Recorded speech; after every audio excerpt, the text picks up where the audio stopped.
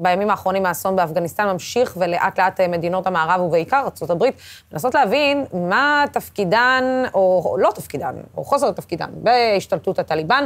ועוד רגע אנחנו נדבר כאן עם אה, אלון אה, פינקס, אה, חבר ומיודד של מנהיג צפון קוריאה, שלום לך.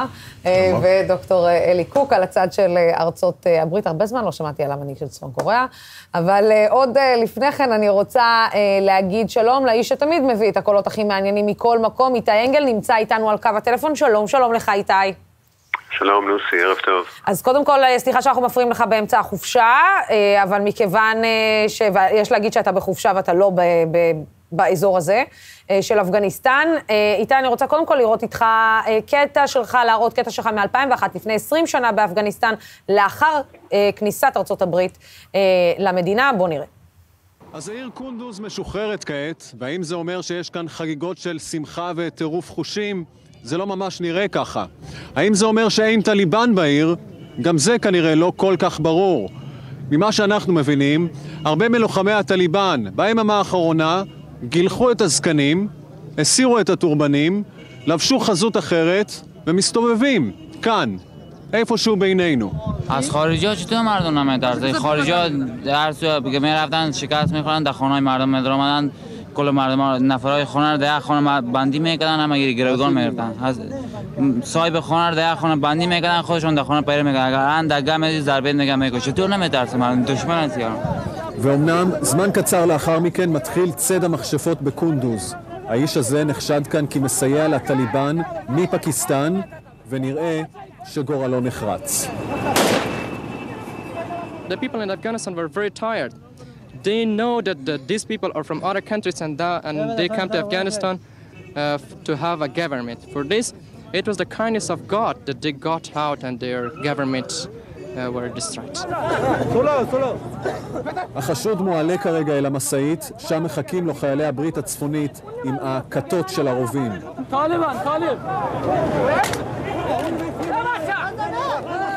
בנקודה זו, אנשי הברית הצפונית מרחיקים אותנו, חלק מורים לנו שלא להקרין את התמונות האלה בשום אופן, מנסים לשכנע שהם מביאים איתם לאפגניסטן עידן חדש. איתי אנגל, חדשות ערוץ 2, קונדוז, אפגניסטן. טוב, אה, איתי, אתה יודע, אחד הדברים אה, אולי אה, שהיה הכי ברור, גם בדברים שאתה כתבת לפני יומיים, זה שהרבה מאוד אנשים אמרו, הם עוד יחזרו, והנה, אנחנו רואים את זה 20 שנה לאחר מכן, הם, חוזרים ובחותם הרבה יותר גדול.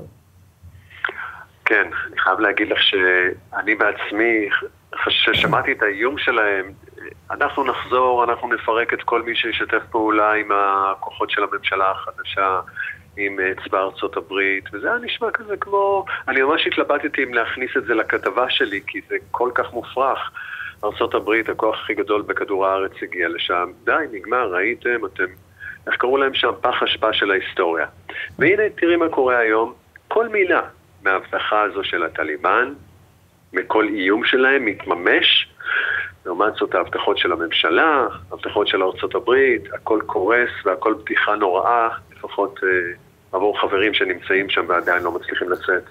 אתה יודע, איתי, אה, אני מנסה אה, רגע לראות את התמונה המלאה, הרי כבר אה, שנים אה, ארצות הברית, בכל פעם שהיא נכנסת לתוך, אה, מחוץ לגבולותיה, לתוך איזשהו ברוך, ומנסה להנחיל את ערכיה, במרכאות, על אותו עולם שהוא נוגד לחלוטין, שהוא לא דומה לערכים שלה בשום צורה שהיא, היא נוחלת בכל פעם חוסר הצלחה ונוחלת כישלון.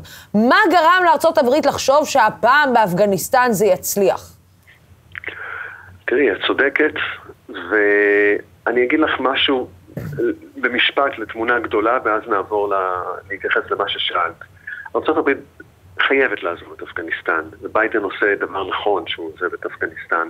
איך שהוא עוזב זה נורא ואיום, ואני מדבר מכיוונם של אנשים שהם חברים, שזה עשרות אלפי אנשים, בין אם זה עיתונאים, בין אם זה אנשי לוגיסטיקה, שסייעו לאמריקאים, וכרגע הם, סליחה, נזרקו נזרקו, חלק הצליחו למלא את עצמם, חלק אחר הלך עליהם למרות כל ההבטחות שהם קיבלו. אבל, את צודקת, באפגניסטן הם לא הצליחו, בעיראק הם לא הצליחו, בווייטנאם הם לא הצליחו, אבל, את יודעת, אם הייתה שומעת את השיחה שלנו אישה מאפגניסטן, הייתה אומרת לך, תקשיבי, ב-20 שנה האחרונות בניגוד מוחלט למה שאימא שלי עברה ולמה שהבת שלי כרגע תעבור, כי הם חזרו. אני הייתי חופשייה, אני הייתי יכולה להצביע, אני יכולתי ללכת בלי כיסוי פנים, או, או כן, איך שבא לי. אני יכולתי ללמוד, יכולתי לבחור לפרלמנט, יכולתי להיבחר לפרלמנט, אישה הייתה מפקדת משטרה, היה ונגמר. זאת אומרת, ברור שלא בשביל זכויות נשים, אה, זה לא מה שיסעיר את אה, ג'וי מקנמרה מאריזונה ואת האמריקאים, מה, מה אנחנו עושים שם, למה אנחנו מתעסקים בזה. אבל הטרגדיה עם אפגניסטן, ואם מותר לדבר לא פוליטיקלי קורקט בתוכנית שלכם, חופשי. אה, יש ארץ ששמה אפגניסטן, אין עם אפגני. Mm-hmm. אפגניסטן היא ארץ של, סליחה, שאריות. אם את מסתכלת על ה... אם את מסתכלת על האטלס, mm-hmm. את רואה את אפגניסטן גובלת בין היתר בטאג'יקיסטן, אוזבקיסטן, איראן, פקיסטן, והיא מורכבת מטאג'יקים שלא נכנסו לטאג'יקיסטן, מאוזבקים שנותרו מחוץ לאוזבקיסטן, משים שלא נכנסו לאיראן, ומפשטונים שלא בפקיסטן. זאת אומרת, הזהות של האנשים האלה היא תמיד שבטית גרעינית. אף פעם לא הייתה לכידות לכדי אני אפגני, ובגלל זה כולם שואלים בתימהון, איך הצבא האפגני, שארצות הברית תמנע אותו 20 שנה, שהשקיע בו מיליארדים באמצעי לחימה, איך הוא קורס, לא ב-20 יום, ב-20 דקות? כי, כי זה לא היה צבא. את יודעת, נאמר בצבא שלנו, אה, מישהו מגיע ל... אה, למצב מאוד קשה בקרב בלבנון, הוא יודע שחברים מהפלוגה יסכנו את החיים שלהם בשביל להציל אותו. אבל אם אותו אוזבקי יצא להילחם בטליבן, הטאג'יקי שאמור לגבות אותו, מבחינתו, הלוואי שהוא ימות. ואותו דבר יגיד השיעי. זאת אומרת, ברגע שהטליבן יתקרבו, כולם, כמו שמתאר לי החבר שלי, יום אחד יצאתי החוצה, כל החיילים ראיתי מתפשטים. מתפשטים, פושטים את המדים, זורקים אותם, זורקים אפילו את הנשק, עולים על בגדים אזרחיים כדי לשדר, היי, אני אזרח, אני בעצם אה, חיכיתי שתבואו, ואיזה כיף שהגעתם אל מול כוחות הממשלה. זאת אומרת, אף אחד לא היה מוכן להסתכן בשביל המדינה הזאת, או הרעיון של המדינה, או הרעיון שלשמו הצבא נבנה. אה, אתה יודע, בזמן שאלפים אה, נמלטו לנמל התעופה של כבול בניסיון לברוח אה, מהמדינה, אתה קיבלת דיווחים שוטפים מחבר עיתונאי אפגני שלך, שעבד עבור כלי תקשורת, עבד עבור כלי תקשורת אמריקאי, והוא נמצא שם והוא מנסה בעצמו להימלט ולהציל את חייו וחיי משפחתו. בואו נשמע רגע חלק מהרגעים האלה ונמשיך. As we were waiting at the airport, uh, I see planes, choppers flying over the airport. I see gunfires. I could hear gunfires outside the airport. I see senior government officials trying to head to the airport and to the terminal to leave the country. Outside, I hear the news that the Taliban are driving around on the streets and roundabouts looking for what they are planning. שמעת ממנו מאז אותה שיחה? כן, כל הזמן. הדיווח האחרון אה, מלפני שעתיים, אני אסביר לך רק מה קרה מאז. הוא לא הצליח לעלות על טיסה, אה, המצב שם נורא. עשרות אלפים פשוט שיתקו את השדה, היו על המסלול, אה, המזוודות שהוא הביא, הכל אה, נלקח, נגנב, הוא לא יודע איפה זה, אין לו רכוש יותר, נשארו להם רק הדרכונים.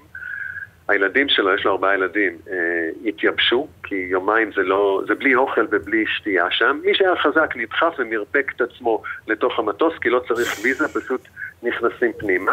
הוא נאלץ עכשיו לעזוב את שדה התעופה, הוא נמצא בבית מסתור בכאבול. עכשיו, משם הוא שלח לי גם וידאו יש לו אומץ אדיר לאיש הזה.